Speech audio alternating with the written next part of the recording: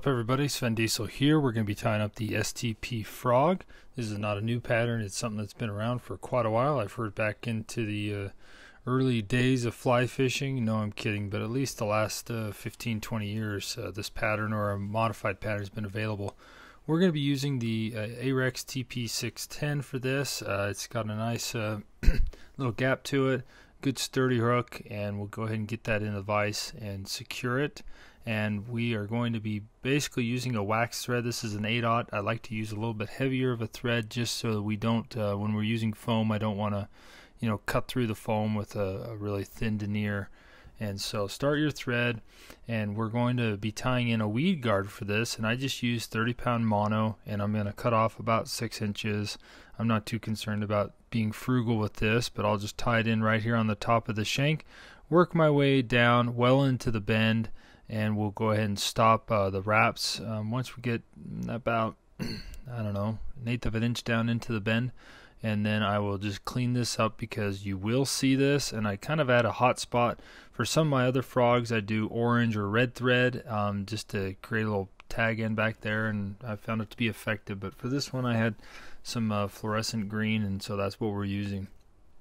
Now these are the uh, the foam here. This is a pre-cut foam, and let's go ahead and show how to do that. This is by River Road Creation, a foam cutter here, and basically you create identical pieces of foam that's perfect for making this STP frog. Now we've got this. Uh, this is actually frog foam here. Um, I believe River Road Creations is who sells it, and I've got the uh, size. Uh, it says six on here, but this is what I like for that size hook that we have in and I just lined it up so that we get a clean head and we go ahead and push real hard and then that's it. So use your bodkin. I got a pen right here handy and just kind of get that out. Don't use your finger. These cutters are extremely sharp, um, but that is the top of the frog body. Perfect. Um, now you can see I've been, you know, I'm going to be going on a bass trip here pretty soon, and so I've been making a bunch of these. We'll go ahead and make the bottom, the belly, and the, the white and um, go ahead and either cut that out or just tear it out. It's you're not going to see that tag in, so it's not too important. But there we go. That's how simple it is to make our frog bodies real quick and uh, uniform. So I do like these uh, foam cutters. They come in a few sizes. I've got the assortment here.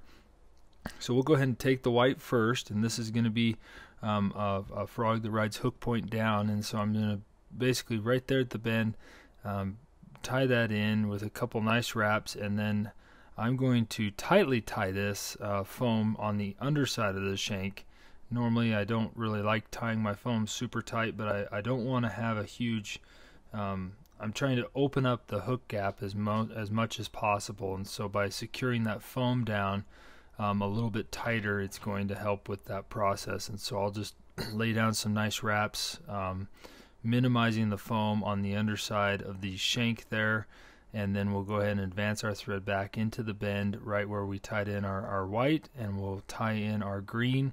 If you want the spots up make sure you uh, tie it so that those uh, spots are, are currently touching the shank so that way when you fold it up and over it's going to be um, visible. And you can see I'm loosely wrapping my foam here and I'm going to get try to get back to where I was with my um, my white but I don't really want to secure that foam right there on the top too much and cramp it down like we did on the uh, or sorry you know really secure it down like we did because I want it to be loose. So um, we're gonna add the legs. This is some uh, just some tab legs here.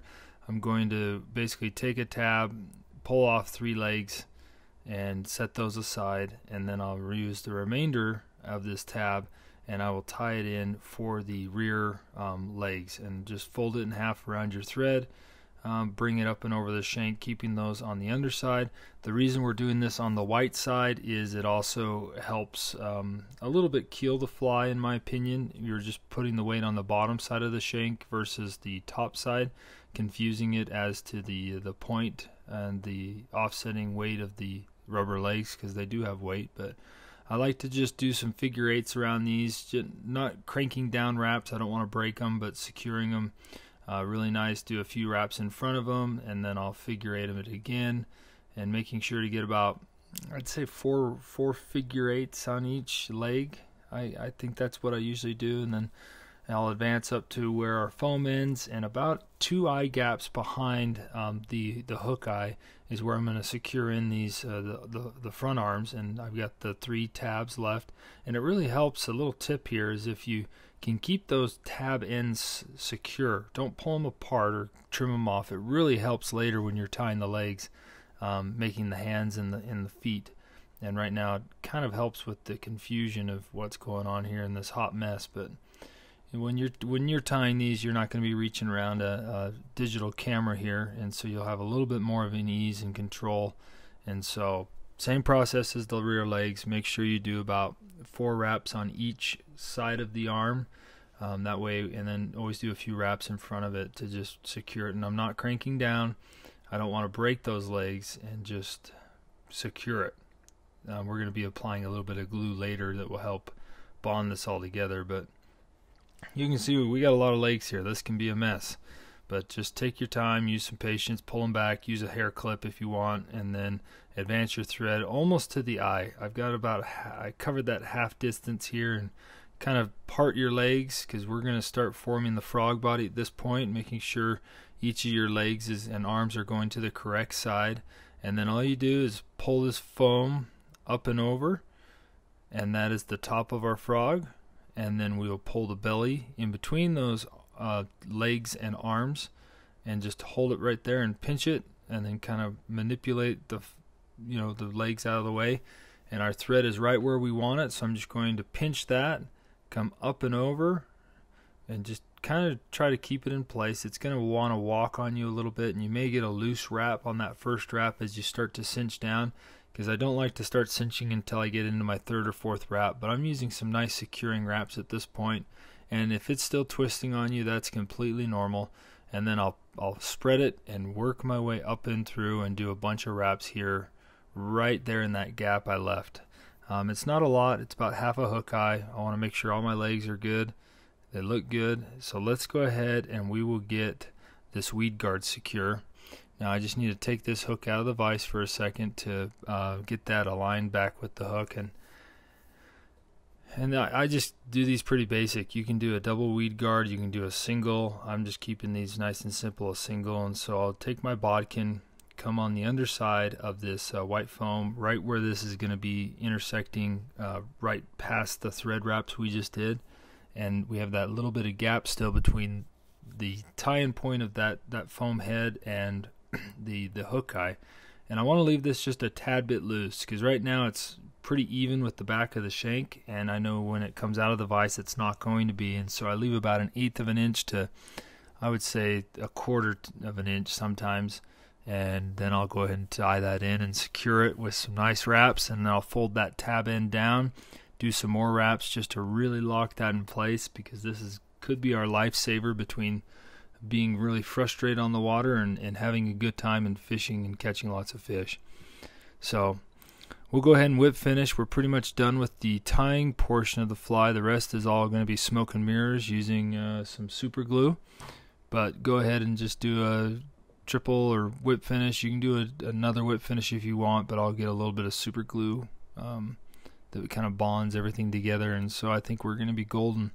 Now, now we want to make sure we get these uh, legs and arms uh, secured and basically I just do one knot right here. And the arm length I do about the length of the top foam and then I snip off with about a quarter of an inch there. That makes a nice arm.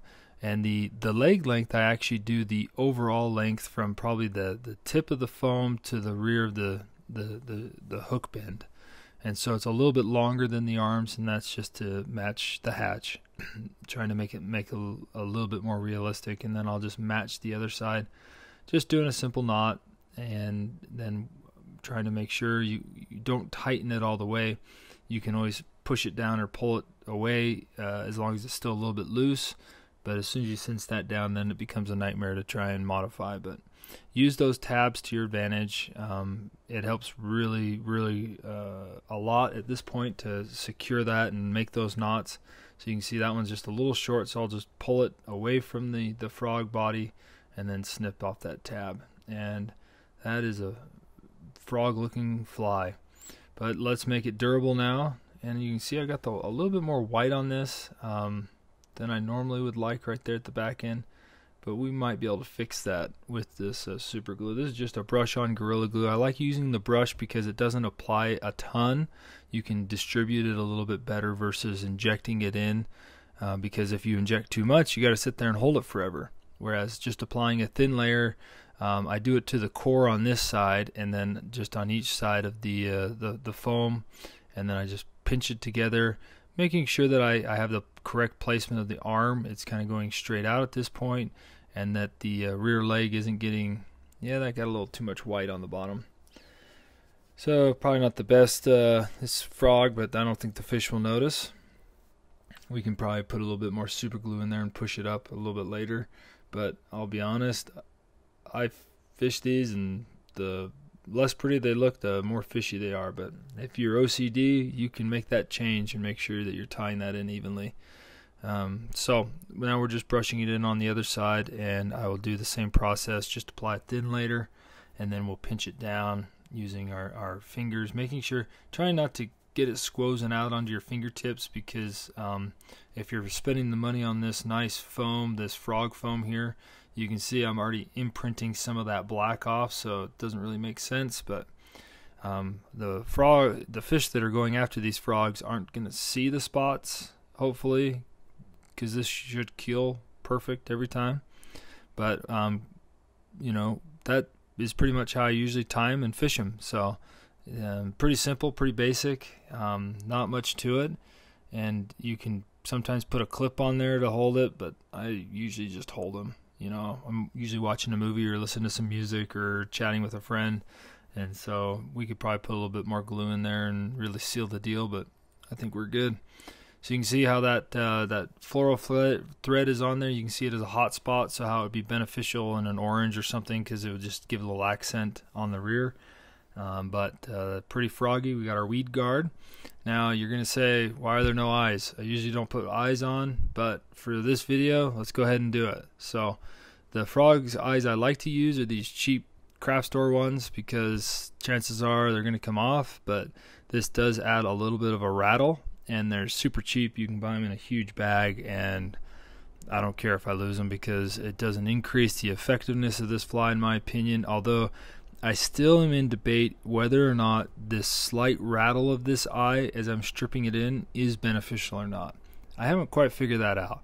And I've asked a few of my real bass friends that, you know, go after bass quite a bit more than me, and they swear by it and curse it at the same time. So I just uh, do it sometimes and don't do it sometimes, depending on what kind of mood I'm in.